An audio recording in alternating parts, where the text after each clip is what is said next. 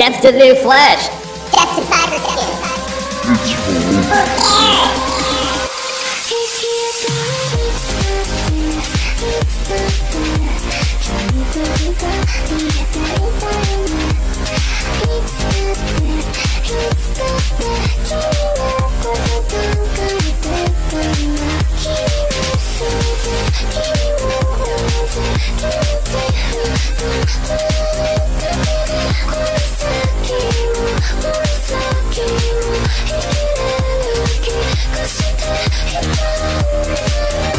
Hey, there, this is uh, Buster's coming back. I've been sick for a few episodes. I'm super stoked to be here today. I think we've got a bevy of new topics, and uh, well, I'll give it to Pinback to introduce a surprise we have for you.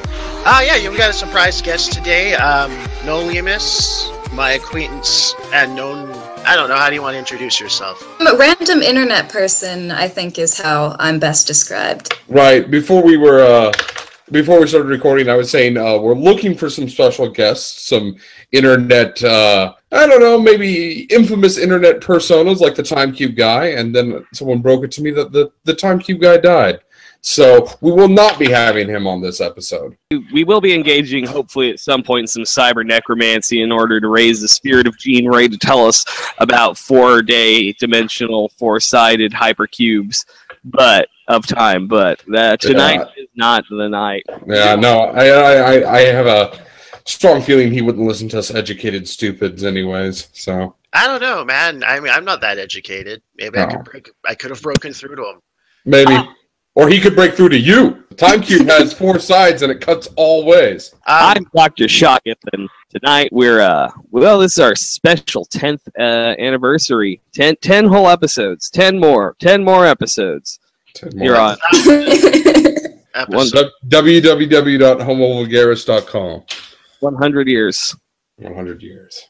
We'll get that sauce. Well, yeah, we'll get that sauce. And I guess that's a good jumping off point. Um, this particular April Fools, there weren't many good April Fool's stories because it seems like it seems like this whole fake news thing has kind of put a damper on like news sites being like, haha, look, we made a fake story. Every what you're not laughing? Shit. Honestly, I think April Fool's Day just kind of sucks. It was particularly dry this year, though. Yeah, yeah. I I think I think a lot of it's like the fake news. You can't you can't have a joke news article anymore.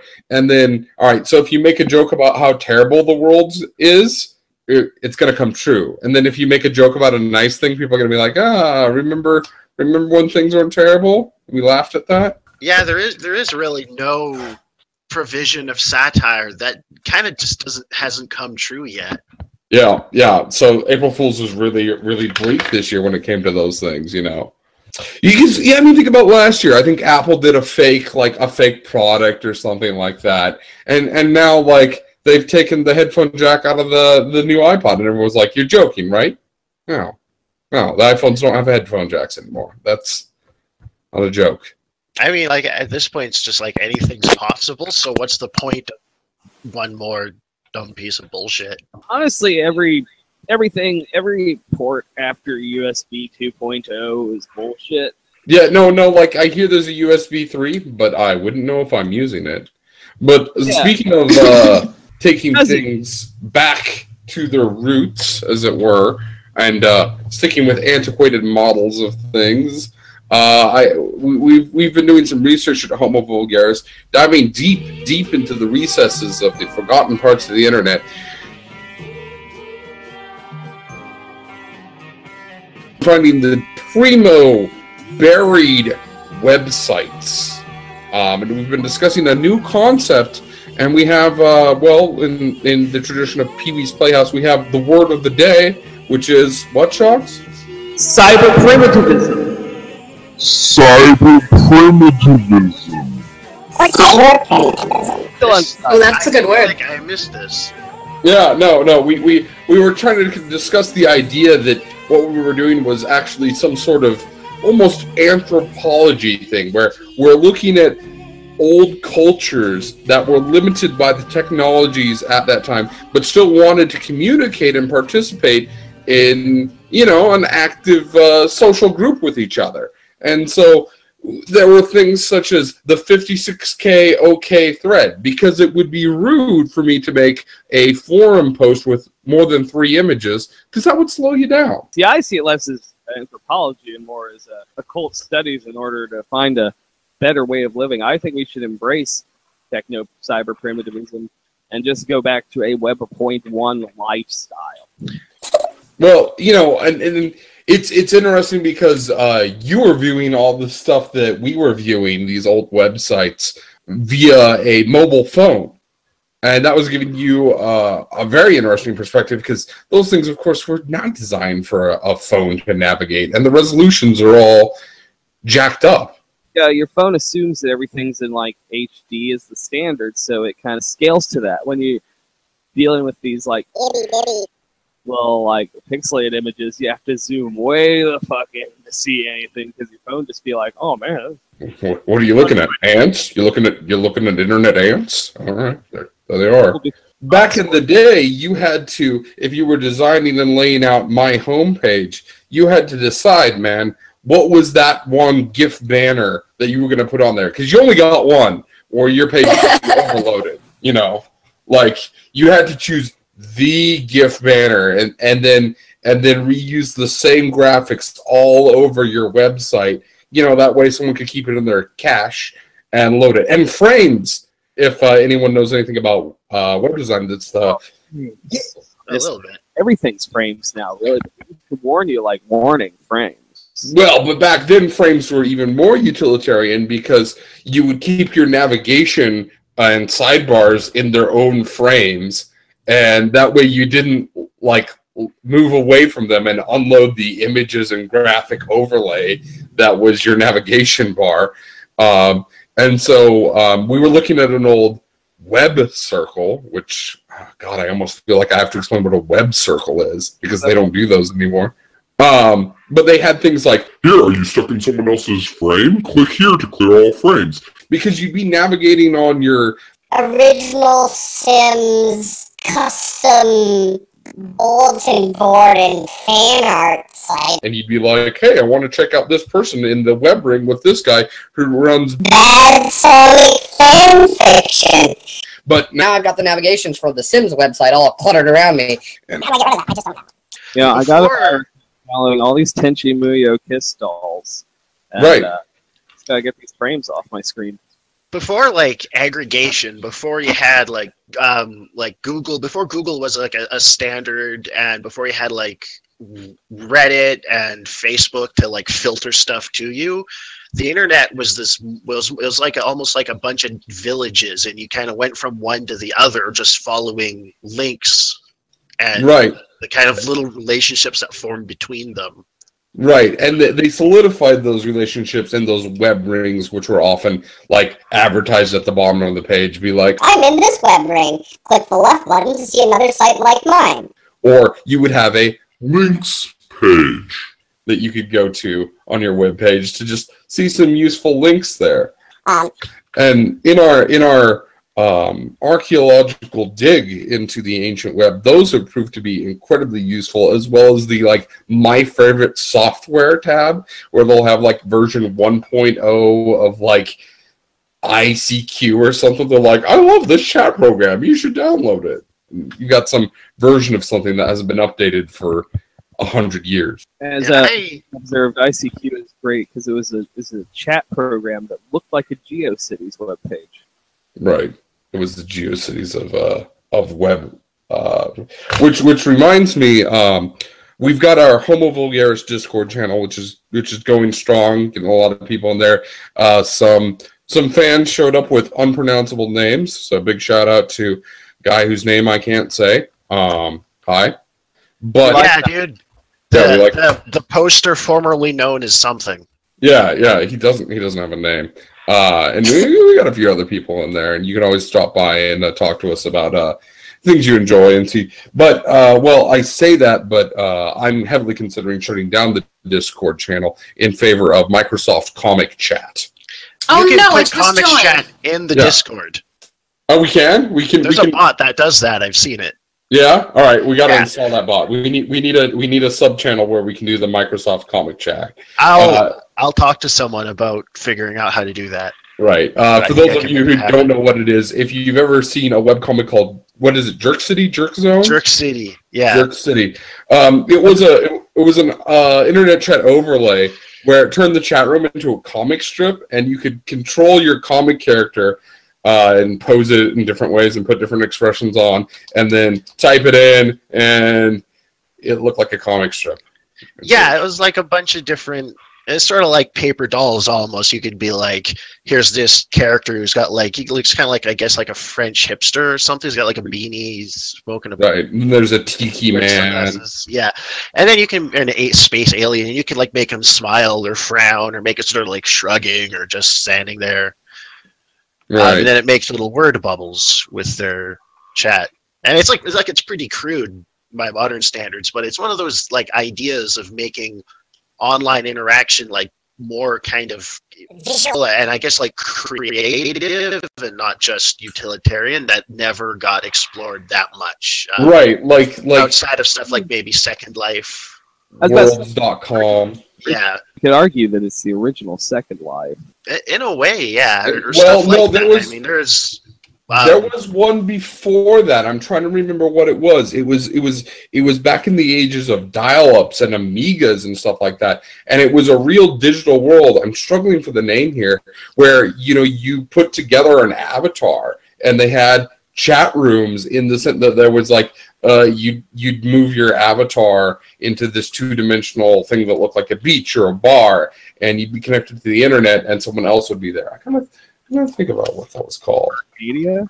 yeah, Google that up. I'm trying Uh, to. the Arcadia was an original one. There was a bunch of those like that kind of sprung up around the same time out of this sort of like more forum based um game thing, like something like Neopets or whatever, and it had just like these little characters that you could actually move around in real time and talk to people. And there was a bunch of them that all came up in the early 2000s, mid 2000s. This was done by Lucasfilms, um, and it was called Habitat. Yes, it was called Habitat. I Remember that? Yeah, and it was uh no, there was something before this. Crud, I should think about it. But but yeah, it was it was back in the the um, as early as 1985. Yeah, yeah, and and it was it was really really a crude. You should Google up some images. You guys can only computers are they're really really crude like eight bit stuff. If you can find pictures of it, Oh it. yeah, I'm it's, it's really quick. Hang on. very much like uh, something you, you might see on an original NES almost. Right. Well, and and the 1998 version was even cruder. Uh, they kept updating it for a while, but eventually it um, died out.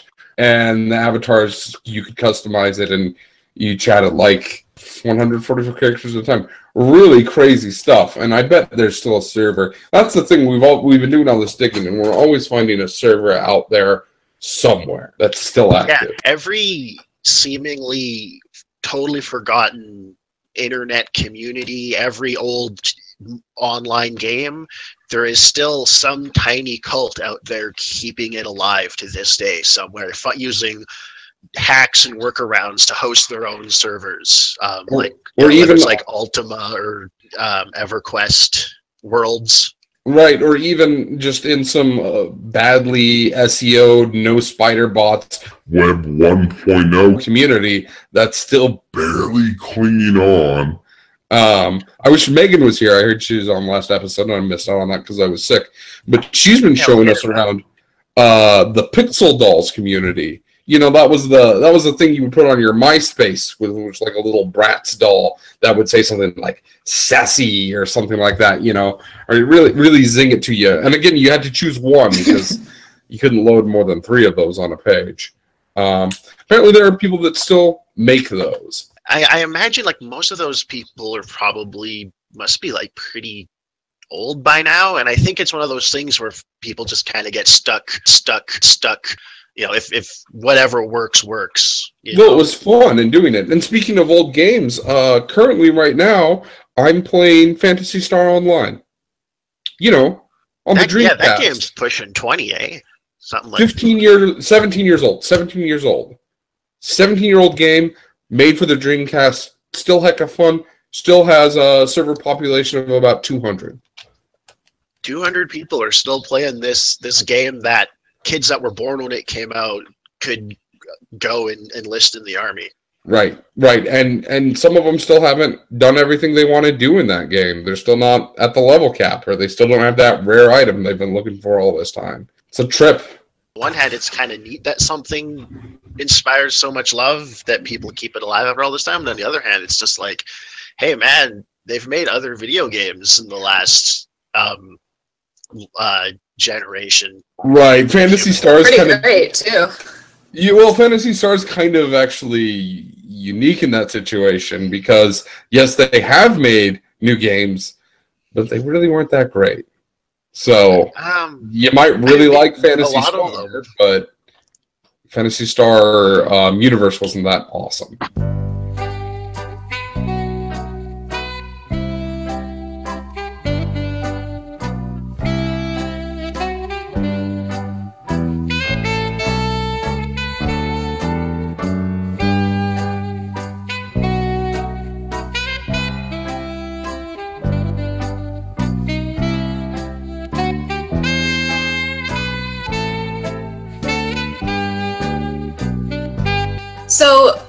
Is a cyber primitivist? Is it people like you guys who study these defunct online communities, or is it the people who are still keeping them alive? Uh, I think it's the people that still keep them alive. I think they're they're the the cyber primitivists. If you look at that dolls thing, uh, one of the things I loved about their form um, is that under their little avatar they have their bio, and it describes the medium they like to work in, whether that be like pixel dolls or uh, or or like MS Paint dolls, and then they tell the tools that they use with. Some people would install old versions of MS Paint because that's what they felt more comfortable with. They're the ones keeping the the data alive. They're the ones keeping their websites up, and yeah, they're Art the, restores. right, right. They're the they're the ones that are engaging in this. And when we play those old games, we're the ones that engage in it.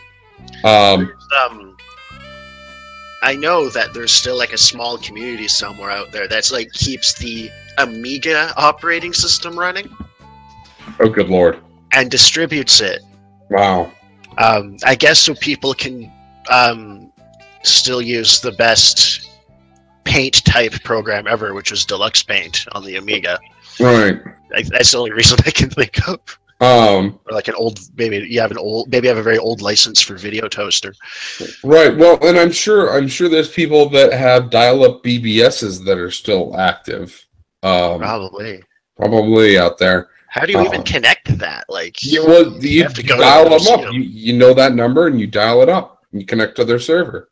I mean, like, like say you wanted to go and find one of those, like you'd have to like go and like buy all of this like equipment from somewhere to hook up to uh to manually dial up through a phone line. Maybe. Well, you mean, might be able to no reach it through an IP, but I'm not sure. But still, like uh, one of the videos I watched this week was a guy who showed one of the world's first modems that was designed for like internet like testings, and it was a completely, uh, almost completely analog in the sense that it had two modes, on and off.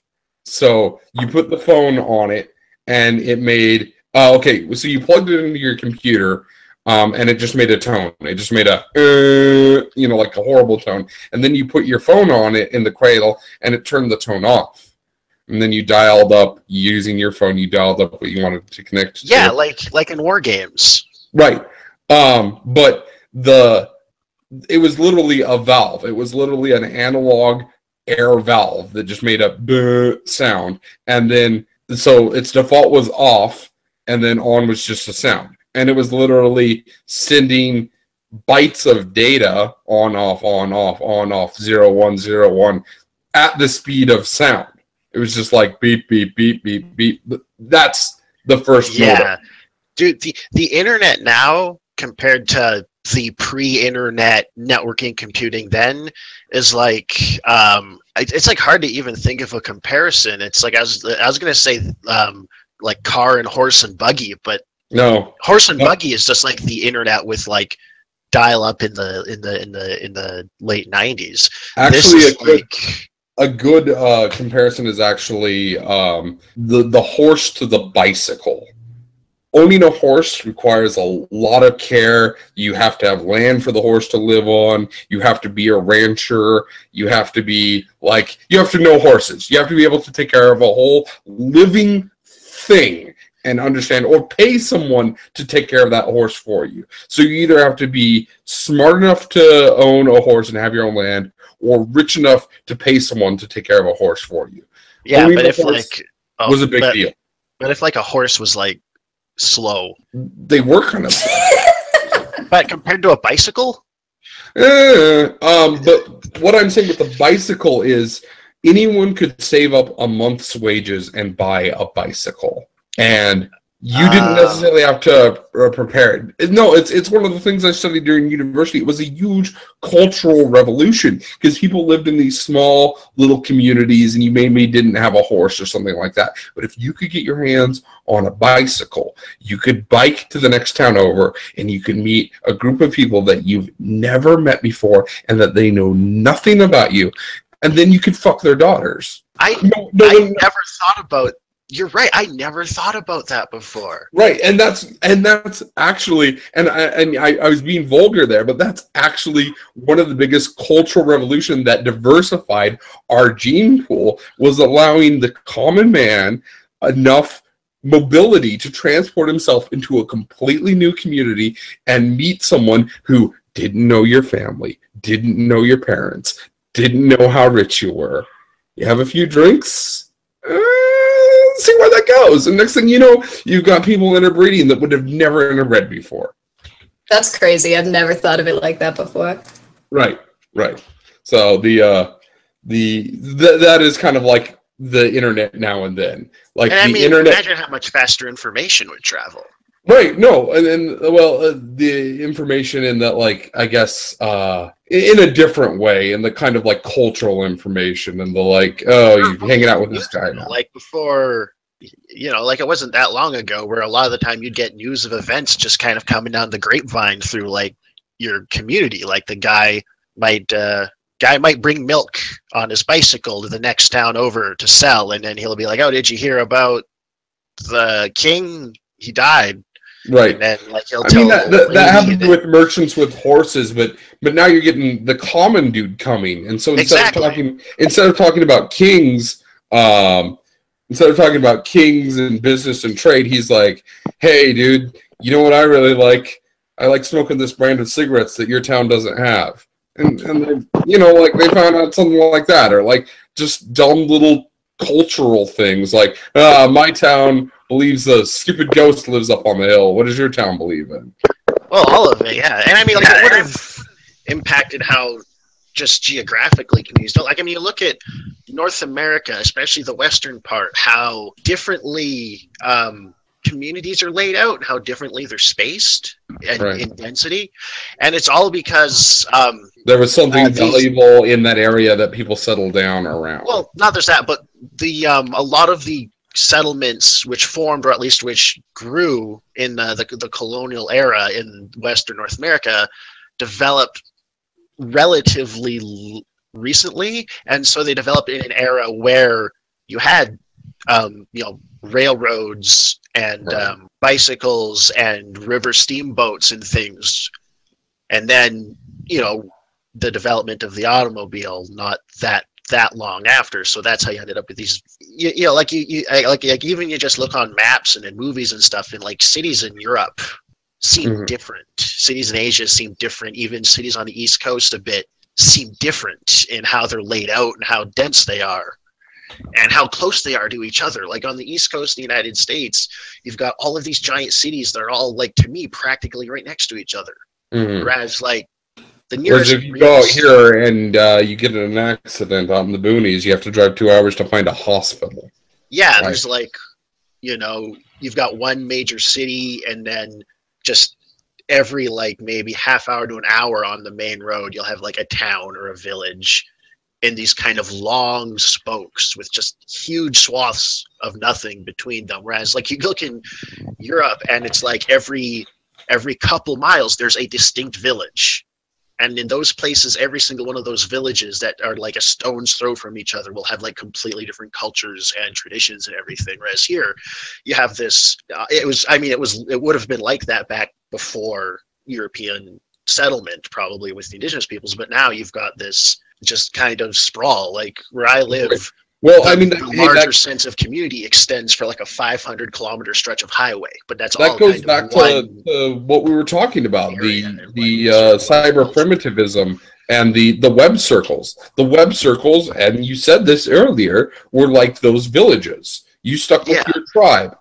and and as technology advanced, as we got our little bicycles and steamboats and high speed internet, we uh, started having the, like these less tiny villages and just started going everywhere. And Back making- in my day, the anime web turnpike was practically Yes, like, like- a home address. cyber right. con- concentration, like populations concentrate in cities, and then I've got cyber populations concentrating on these large networks. Shogs brings up uh, something that uh, that's uh, completely anachronistic now. My homepage.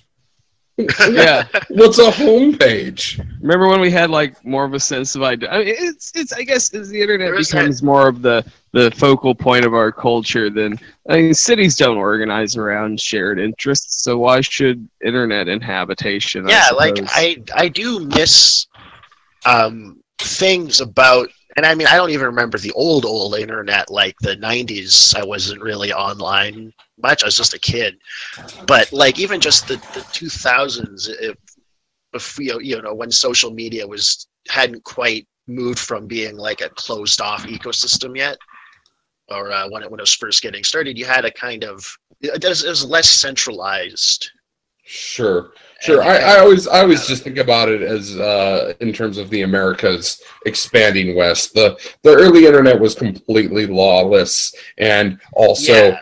pretty shitty because you couldn't get any nice things out there. So, like I was saying, your homepage, you knew your little homepage. You didn't have much hosting for it. You wrote it in Notepad because that's all you had back in the day, and you got to choose that one or two good gifts. Like you, you might have found a bunch under of good gifts, but you got to you got to just you know you can only afford to use one really good GIF in your whole website. So you got to really really think of it. And then as technology expanded and the internet connection bigger, and your little western town got built up by prostitutes or what have you, you're like, oh, now my homepage can have five GIFs, and these I choose I choose an anime banner that says no nudes, no hentai, and then I also choose you know, like a Harry Potter like flashing banner with a lightning bolt. And I'm feeling pretty good about that because I couldn't have had that two years ago. I'd go with the red anarchy symbol and the skull with the fire on top of it, and both of them are rotating. Yeah, no, I, And you can come to my place and you can download a text file of the Anarchist Cookbook by the Jolly Roger, and you can blow your hands off, and you're gonna have a great time. I'm I'm gonna I'm gonna opt for um, the alien dancing GIF. Oh, but I'm gonna I'm gonna mirror it. I'm gonna it's gonna be the same GIF, but I'm gonna use HTML to mirror it several times, and Wait, you are going to So be it looks like it. Di- so it looks like it's dancing with itself. Right, or a large group Ah. of aliens are dancing, and then Ah. there's going to be a MIDI that auto plays that is the X Files theme song, and you're going to be able to read about my experiences with, um, you know, extraterrestrials. I read one time that uh, if you go to disc two of Final Fantasy VII and you go to the kingdom, uh, the city of the ancients, and if you stand down there by that fish for 23 hours, he'll say, "What the fuck's wrong with you? Aeris is dead. Go throw this game away." Right. Uh, I'm gonna I'm gonna link to your video games uh, tips page in my Thank you. about section. Uh, yeah, I think that's a valuable thing to know. I haven't played that game, but I'm going to circulate that rumor because it sounds like something that I could only learn on the internet. Please do and visit my homepage hojo.net. we have a forum where you can Not Final Angel Fantasy. Geosite Angel No. Fire. No, we sprung for the domain name, and uh, really? maybe you can come over to my place sometime, and I can explain how you're soul bonded to Final Fantasy Did you VII know- characters. that there's a cheat code where you can make the Tomb Raider and Tomb Raider naked. What? Yeah, Plus, you man, got like you- six there's, like- polygons on those tits. Yeah, like I'm gonna have to. like that. triangles. I'm gonna have to use being one of my The gift. alleg- triangles are beige. Oh. That's how you can tell. I'm gonna I'm gonna have to allocate one of my gifts to some flashing sirens, and we're gonna have an NSFW, and we're gonna link to your page there. But don't click on that if you're not 18. Yeah, um, my homepage will just basically be something that really should have a seizure warning on it in Yeah. indecipherable shapes and words, but should definitely be uh, regulated by the FDA. Sure. What what are you what are you selling on your homepage? You I you got some hot animes I should check out, or maybe some opinions on uh, I don't know Bill Clinton. Um, some pretty weird opinions on Bill Clinton. Yeah, that's most of it. Um, Monica Lewinsky. It's a Monica, Lewinsky fan page mostly. Um, but also epilepsy medication. I'm I'm selling that as a in a sort of Okay. snake oil salesman kind of way. I way. need I need you to host a Java based game where I can dress up Monica Lewinsky. Wait, are you making this homepage on a, on a on a Linux machine? Are you using MicroSucks Windblows? So I got this picture on my computer where I took the Microsoft logo and I replaced the S with a dollar sign. Oh wow! how, how many kilobytes is that? Uh, about about 26. It's a, it's a pretty big image, 280 Oh. by 280. You might just have to like put a link to that and be like, "Funny pic, click here." Then we can load it. You know, if our machine Not- can handle it. Not you know. 56k. I made a okay. Doom WAD where you're the Linux penguin, and all the demons have Bill Gates' face. Oh yeah, Oh wow! Oh man, can That's I a good get one. that? yeah. It's Yeah. also got a MIDI version of Pantera's "Cowboy from Hell," but only like a 10-second loop. That's all I can fit on my bandwidth, so it just plays over and over again the riff from "Cowboys from Hell." just the riff. Oh no, that's fantastic.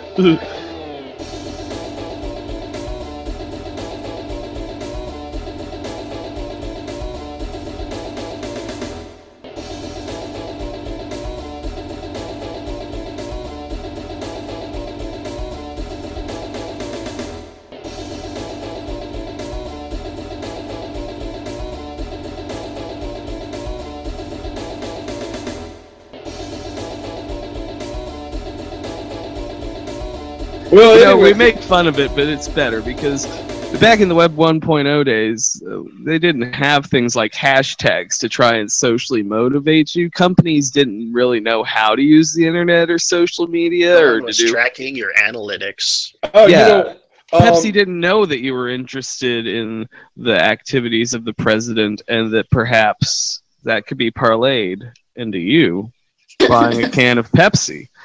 And Right. if you're if you you know so there if you're an activist type, you know what do you respect? When you you're an activist type, you know you go to you go to uh, protests, you, you direct action. You're kind of acts. Uh, you're kind of uh, one of those people that that that really cares about you know social issues and you want to make a difference. You, you Um, post a lot of links to think pieces on your Facebook. You might have read some Zizek. So who's gonna who's gonna speak to you? Who is Oh, that's the got to be a person wanna- Kardashian. That's got to be a Yeah. Kardashian. That's that's that's that's my mouthpiece right there. I that's what I was thinking too. What, Here's what's which really scary. What happens when one of the soda companies gets smart enough to get Zizek to sell their Coke?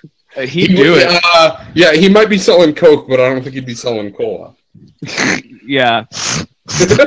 yeah. The, the, the, the Shuriken is representative of the, the capitalist practice. Uh, that, fuck that. But uh, yeah, so in case anybody doesn't know, we're talking about this horrible new Pepsi ad that's uh, making the waves on the internet as of today. We're hopping on a on a trend like day it happened. You know, Oh, you'll hear about it next week. But Yeah, no, when we upload this, it'll be. Dated. Yeah. but yeah, you know, by the time you hear this, Coke's gonna come out with a competing ad where they just like hang a bunch of Mexicans from a wall, and, and, and redneck drinks a Coke or something, or the, like a they kick a they kick a trans person out of a out of the bathroom they chose to went to, and then they celebrate Right. with a Coke. Ted Nugent will hand the guy, the, the sad uh, trans person a Coke and then kick him down a flight of stairs. I got it. I got it. Okay. So there's this this family. They're really like white, but one of their kids is really effeminate and and fey, and and Santa's coming and he's bringing presents, and the the other kids leave a coke out cokes out for Santa, and the, the little gay kid he leaves a he leaves milk and cookies out for no he leaves a a, a, a thing of lipstick out for Santa, and Santa comes and kicks his ass over the wall into Mexico, and and takes the Medicare away from everybody. Well, and then and then the polar bears come and eat. The Yeah. kid. Like yeah. polar Yes, like in the Bible. And then they drink it down. And they, they're covered with his blood, and they just have a coke to wash it down. I'm really excited for the hyper ideological soda wars of the, of Oh, the 20s actually- of this period. Uh, nothing could discredit any of the ruling ideologies better. I don't think. 'Cause, I mean, one thing that I think is interesting is this ad didn't work.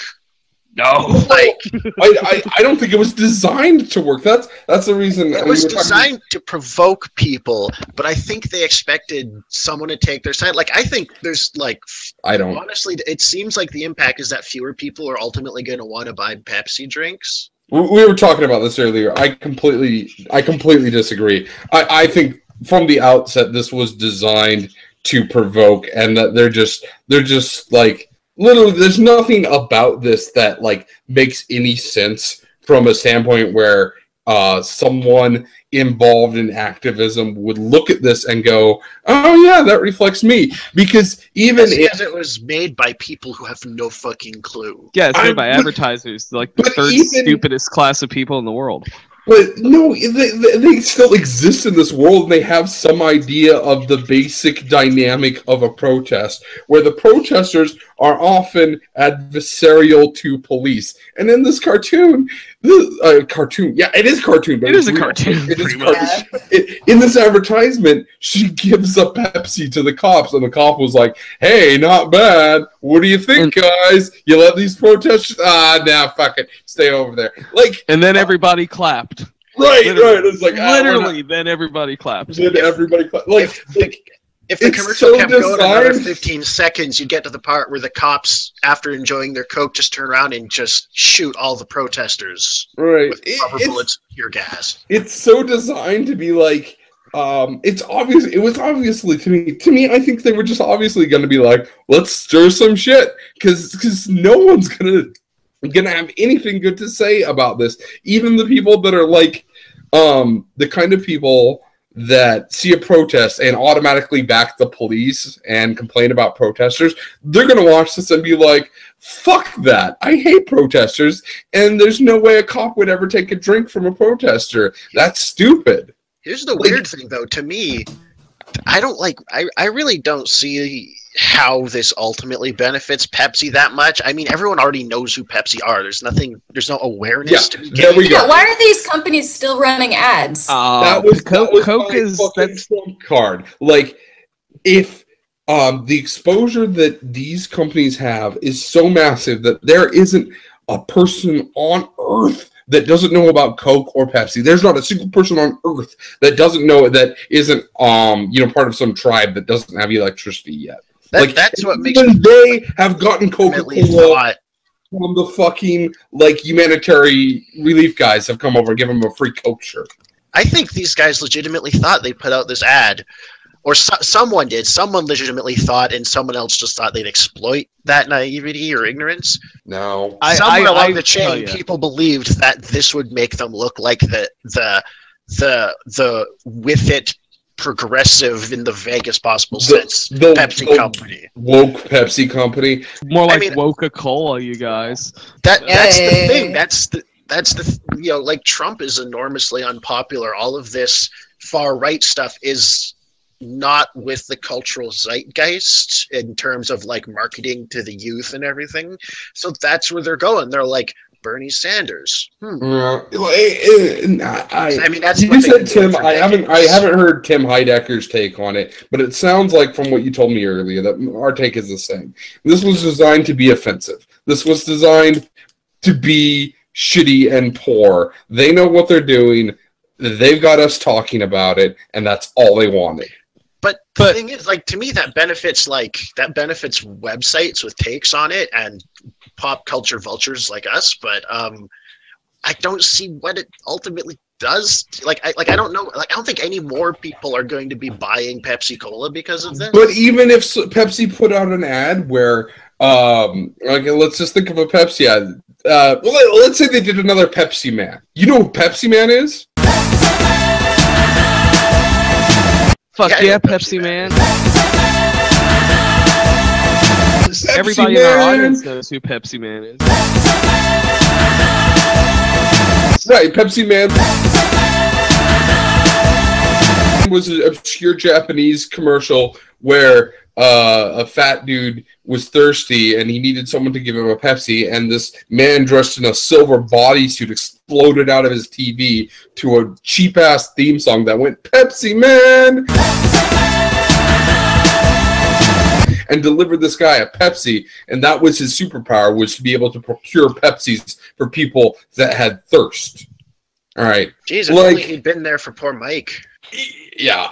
Like this is let's say they did that. They brought back Pe- Pepsi Man. That's not going to sell, sell many more Pepsis. What if, Like- what if they did an ad where Pepsi Man shot a cop and then had a Pepsi? What if it doesn't matter if they sell more Pepsis? What if these what if what if the people that make this stuff are so hung up just on the idea of attention because that in and of itself is a commodity? That's what I'm That- saying. That's what I'm saying. That But is what are- I'm saying. They, they, I think they got the wrong idea because they're like, you know, oh, all press is good press. Is like, no, not if the press is like, yeah, hey, see these people, they're dumb shits and I hate them. Not It's like, man, they're really talking about us, aren't they? it's Uh, like, yeah, but they're Well, all I think mad they at might you. I don't know about that, themselves as. I brand think- and not a product. Like I just don't think it sells more Pepsi. after after at a certain level. Once matters you anymore. reach once you reach a Pepsi's level, once you reach a McDonald's level, once you reach the Oreo level, all press does become good press. They are too big to fail. Nothing's going to take down Pepsi unless we discover they've been giving us arsenic this whole time. Like oh, that wouldn't stop. Like we find out all the time that, that like major companies like have poison or some horrible thing in the food. Nobody stops. exactly. No one gives a shit. It's horse meat at McDonald's, and everybody's like, "It's fine, tastes pretty good, I guess." It's like, Pe- yeah, I mean- Pepsi could like do a commercial where Pepsi Man appears in space and squats over America and shits out a giant red, white, and blue turd on top of America, and people would be people would still buy Pepsi. Like any anything I'm more Pepsi. I think that's the real horror of this thing is ultimately all of this advertising stuff I don't think really matters. I think the whole idea that these that big ad campaigns make that big of a difference is kind of a myth. Like I think ultimately like the people that spend millions and millions of dollars on like YouTube ads and banner ads and shit at some point they're going to realize they're not getting anything out of it and the bubble's going to pop and I'm Well, no, they're getting exactly what they need about uh, from it. They're getting they're getting people talking about Pepsi, and uh, frankly, let let's consider something today. I had a pretty good day at work, um, and I came home and I was hoping we do a podcast today, and I was hoping to talk to you about things. The last thing a week ago I would have talked about on this show would have been Pepsi. I would have not talked about it. That's true. That's Yeah, a good but- ass point. no one's going to buy it because we did. But we're not. I know, trying, people are going to buy our product anyways. We're not trying to get people to buy our product. We're trying to people to get uh, people to have discussions about our product. Yeah, yeah, it's but it's not but it there's worked. no re- that's the idea but there's no but there's no return on it they're pouring the, the resources they pour into this don't come The back return on it is that Pepsi remains a cultural standby. That they don't become an RC cola. That people are just like it's just another soft drink. No, Are you talking Pepsi- shit about RC Cola, dude? Because I'm drinking I'm- an RC Cola right now. I am talking shit about RC Cola. When you came into this podcast, you knew you were going to talk about Pepsi. You had ideas. You had things formulated about your stance on Pepsi, but you were completely unprepared to have a discussion with me about RC Cola because they aren't making news. Well, Like let's give them huge some news. to You know, it's 99 cent for a two liter of RC Cola. Uh, the the the uh, convenience store near me has something I'd never seen before I moved down here to Southern Indiana, which is RC Cola in the Coke fountain. Yeah, they, they, their fountain's weird. They don't have Coke or Pepsi there.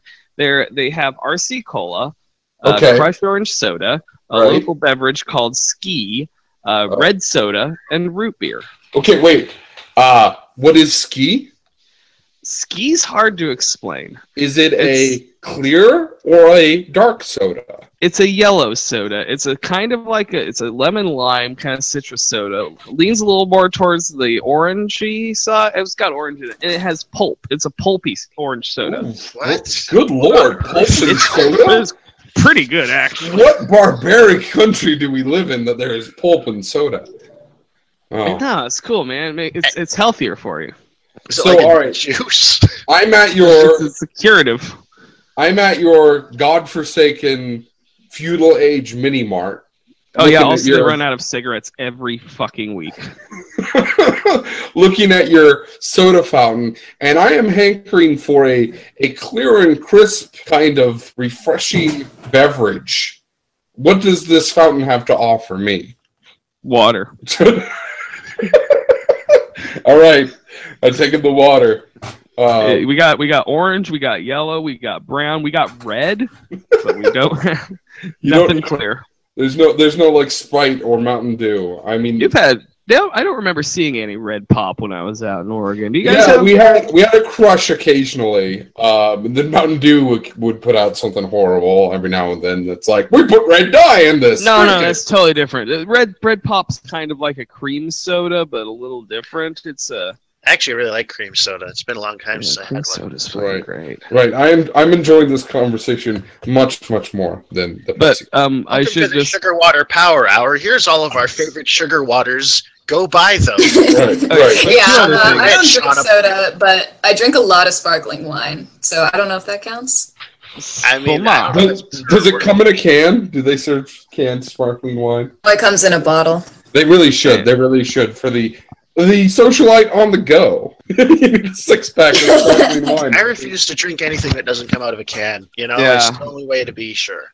Right, right. Uh, when the nukes But- drop, where where your bottle is going to be shattered. That's where. Yep. Yeah, two dude. other things. Uh, Pepsi Pepsi knows that the revolution's coming, and they know they're not currently uh, positioned to be the soda of the revolution. That is Faygo. Everybody sing! Send your mama straight up to the stove. Tell that bitch to bring home a Faygo. We was butt naked all over the floor. It felt weird though, cause we was at the Faygo store.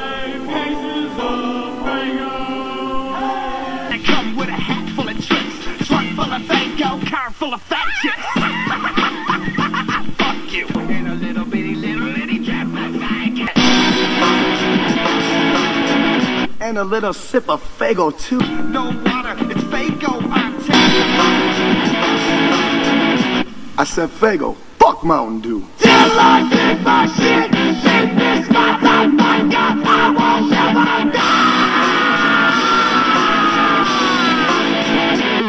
because Yeah. the Juggalos will be the, uh, the they will be the front line. We're- It certainly We're gonna send Faygo them will in as like- the revolution.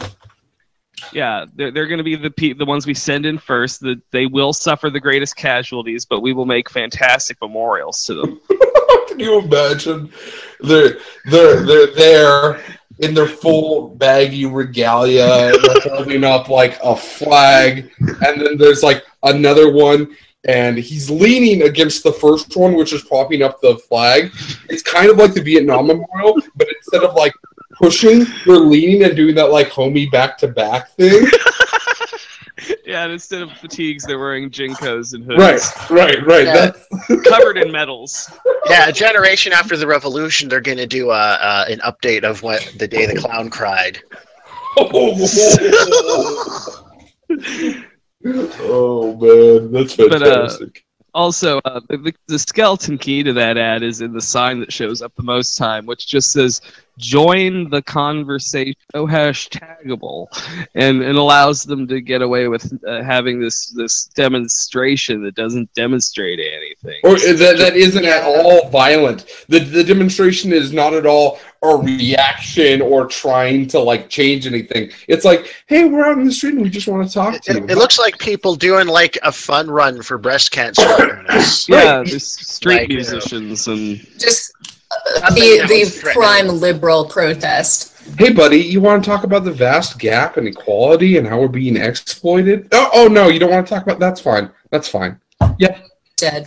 Have a good Millions day. of people Pepsi. are dying around the world so that that rich guy can sell you a bunch of shit that you don't need and that you could have just made in your own country Do you, but if you really wanted to. if you don't want to talk about that, that's fine. You, you can join the conversation if you like, but it's you Join know the conversation. we, just- we just want to talk about it. Oh, I, I apparently they're like the um, administration has been getting really belligerent. By the way, the the the the Trump cluster of like I don't even want to call it a government. It's just like a, a, a gaggle. I'd rather I'd rather talk about uh, the uh, signing where he walked into the room. He said one crazy thing. He's like, "The country's in shambles. We're gonna get the jobs back. It's gonna be great." And then he walks out of the room, and Pence is like, uh, "You were supposed to sign some executive. You know what? I'm just gonna pick him up and bring him with me." But I, I think they're going to start a war. You Yeah. know, it's it's an old move, you know, s- like to try and get like a quick, easy war to boost your popularity, like a like a Kosovo intervention or a, a, a desert desert storm, uh, Gulf War One.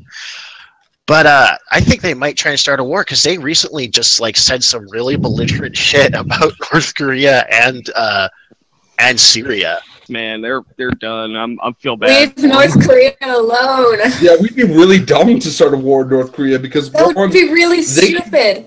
they can barely menace Seoul. And like North Korea, well, the landscape of Korea is built in such a way where Seoul is like al- almost like at sea level, I believe. And the across the border, across the DMZ, they have all these mountains where they've ranged all this artillery.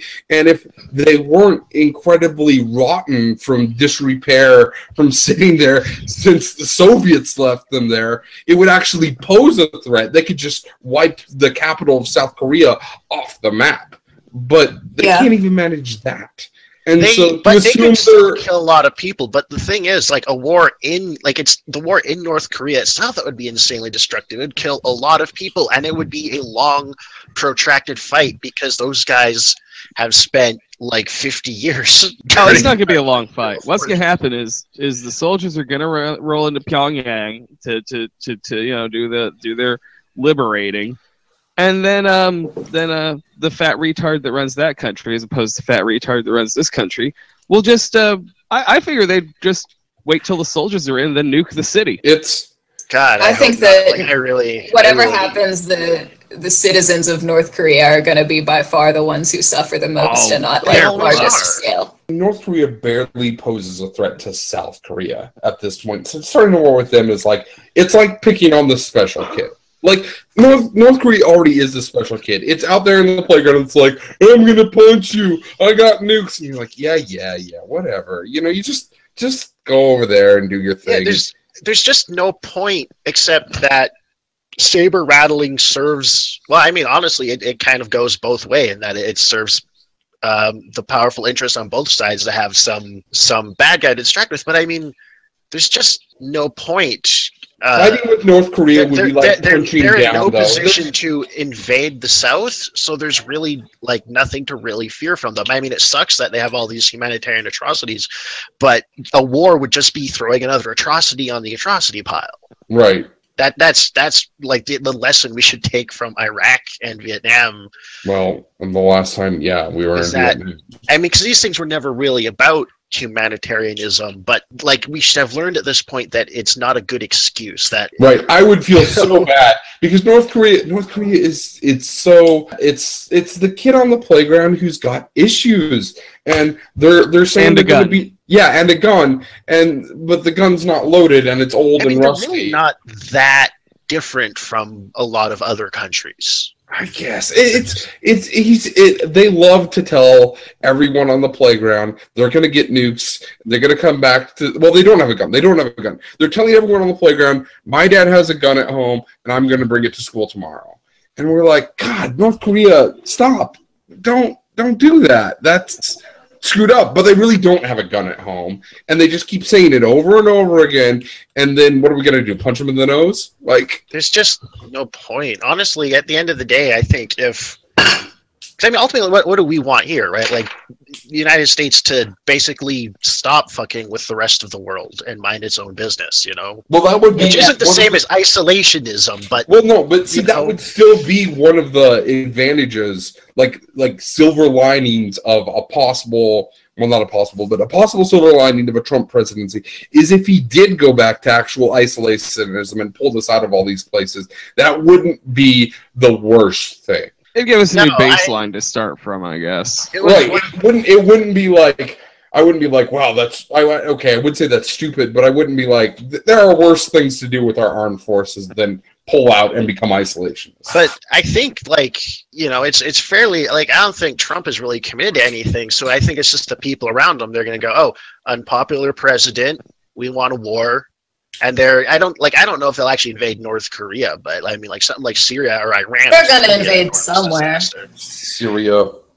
My hope is though, like I don't think there's much appetite in the population for a war. Like even on the right, I don't think they really want an actual war that bad. I think they're more interested in Um, keeping people out than going and spending more resources and lives. I don't know. Like, There, Since I he mean, there was- is a big jingoist contingent, but I think like you look at how unpopular Trump is already. I don't think a war is going to gain him support in this climate after there's already so much war fatigue from the Mm, With all the aggression towards Muslims, you could you could get away with a war in a Middle Eastern country pretty easily because Muslims. And Americans have been. Some we've been- cases, a war can increase a president's popularity. We've It also can, been but fed so I much like weird propaganda this- about North Korea over the years that people be down for it because they just feel they believe everything they hear about it. So I don't know. I Uh, think I, I, I think we're in a different circumstance here. I think that the cumulative war fatigue doesn't make that under a di- like under a different president maybe, but I mean cons- like I don't think Trump could sell it either to the people who don't already agree with him. He'd have to have someone write his scripts, and he's bad at doing that. Like I he's just bad I, at, I, like that he's bad at other, having other people do things. I see him. it backfiring. He can't even read a fucking script that someone like hands him. He has to go off script at some point. I think I mean I mean I know like you can't you I mean take it with a grain of salt, but like I do find it plausible that maybe he's sort of like Reagan was, and but more so maybe he's a bit uh, addled up in the noodle.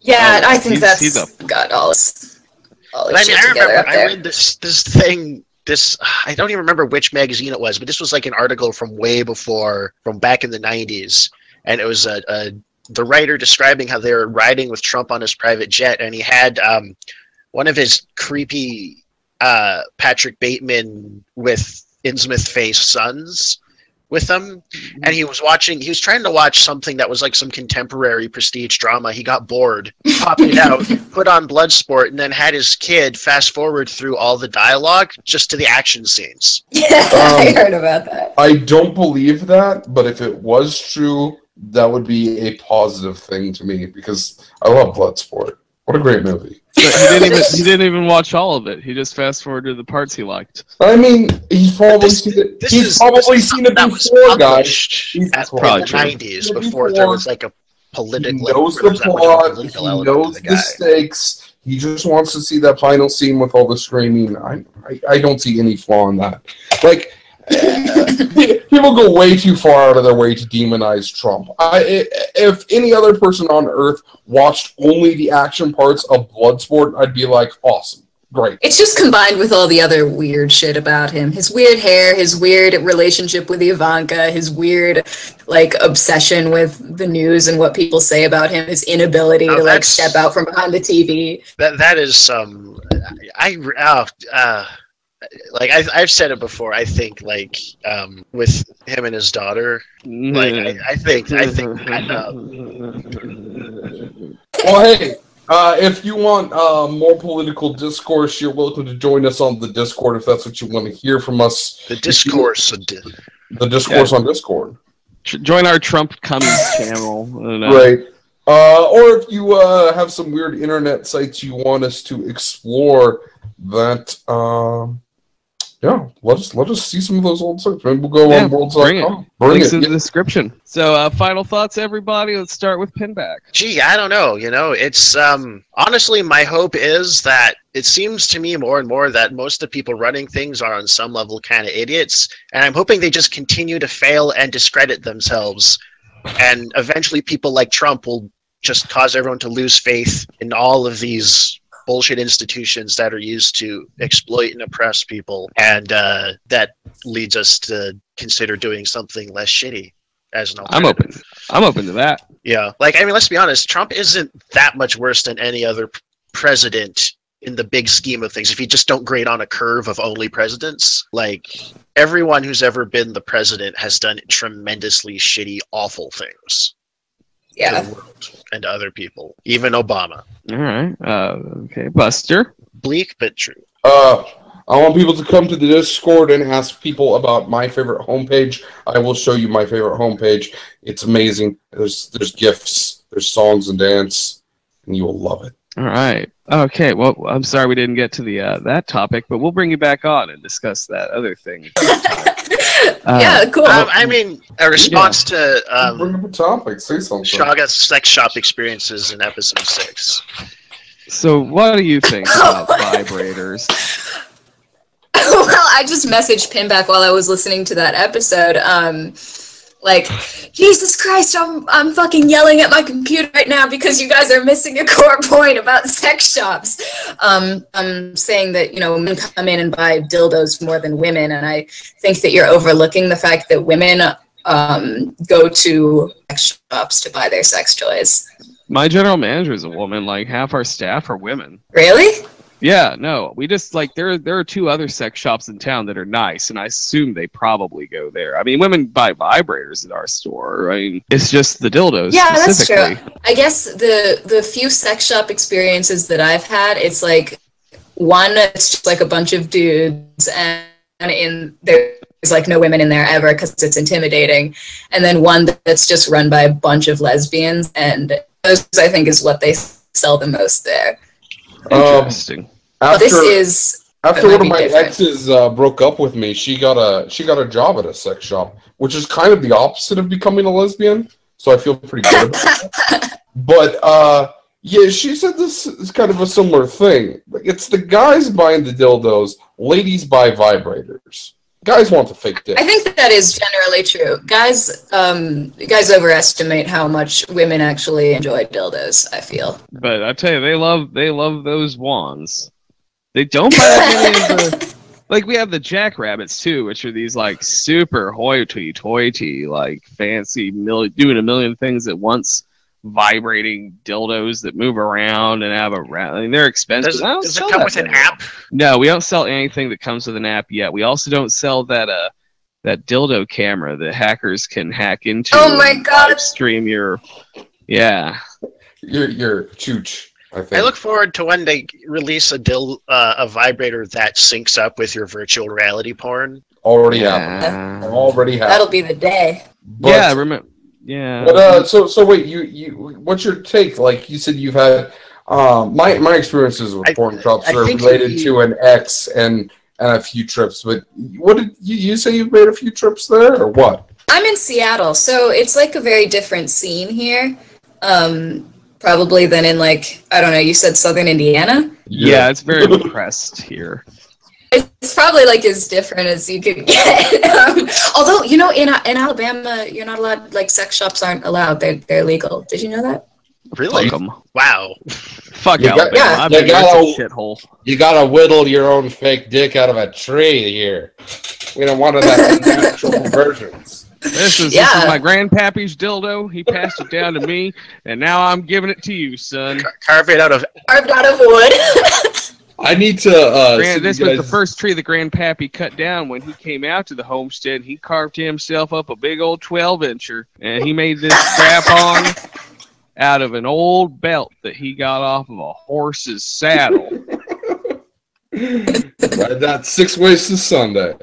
That's, that's, Um, that's how they talk in Birmingham. Right. Uh, I need to link you guys a fantastic video, and maybe we'll include this. It's uh, it's a video will actually of this nice old Jewish grandpa, and he he's doing he's doing the will, and he he does quite a bit. There's there's quite a kind of a pre roll of like you know my wife. If you passed away, you're the love of my life. I want you to have everything, but in the event that you have passed as well, I want you know my daughter Becky to have uh, this and that, and my son to have this part of our estate and plan for your future. And uh, I want Becky's uh, son and um, Becky's husband, my son-in-law Jeff, to have my dildo collection. I've spent most of my life collecting very, very fine specimens of the human form. Um, you know, I, I have over a hundred of them in a garage. Um, and in fact, I'm also giving you the keys to a safety deposit box in New York where there is a large purple one. I think it will fit nicely into the tuckus. Go fuck yourself, Jerry. Fuck- It's really fantastic. Um, yeah, we'll put that link in the description. too. yeah, yeah, and so and so that's the that's the kind of grandfatherly um, sex toy stuff that that I I think is humorous. Well, we're running a little long here, so my final thought is buy my book, join our Discord, contribute to the Patreon, buy shirts. Uh, don't use vi- don't use image files uh, larger than 500 by 500. Uh, if you must have a website, put it on Angelfire GeoCities, and uh, talk to us on ICQ. And, Thanks uh, for drink having me, guys. Yeah, it was fun. Thanks, thanks Yeah. for coming on. I know it was super last minute, um, but I really Yeah. And uh, that's all.